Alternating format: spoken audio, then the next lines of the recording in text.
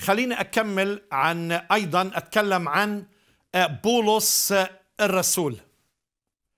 والشيء العجيب إنه هاي الشخصيات اللي بتكلم عنها كانت رافضة فكرة الصلب زي أي مسلم.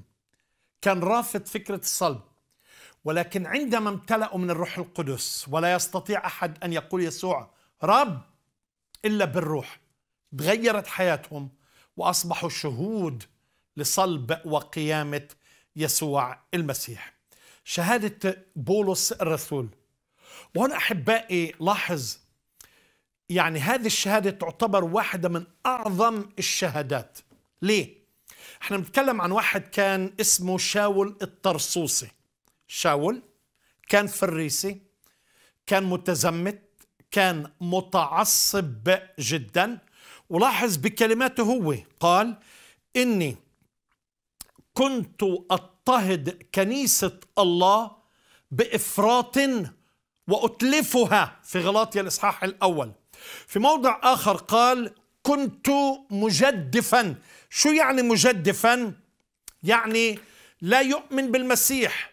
فبالنسبة لبولس أو شاول في جماعة اسمهم جماعة المسيحيين يؤمنون أن يسوع المسيح هو الله.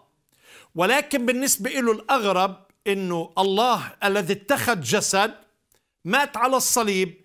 بالنسبة لعقلية شاول الطرسوسي إنه هذا ملعون لأنه ملعون كل من علق على خشبة بحسب سفر التثنية. فإذا بولس الرسول عم بحارب جماعة المسيحيين اللي فكرهم جماعة بدعة. يؤمنون بالمسيح هو الله. يؤمنون أن المسيح مات على الصليب.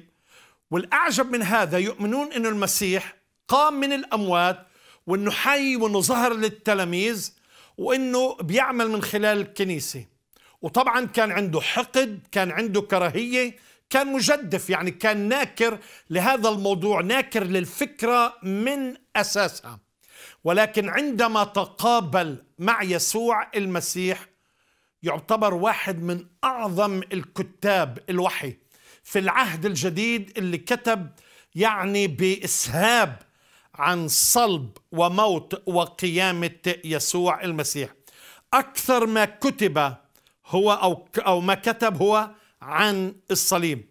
ومش بس حتى اللي بيخدموا معاه برسالة فيليبي إصحاح ثلاثة في تلاميذ كانوا معاه يؤمنون بالمسيح وكانوا بيخدموا الرب معاه ولكن لسبب ما تركوا المسيح.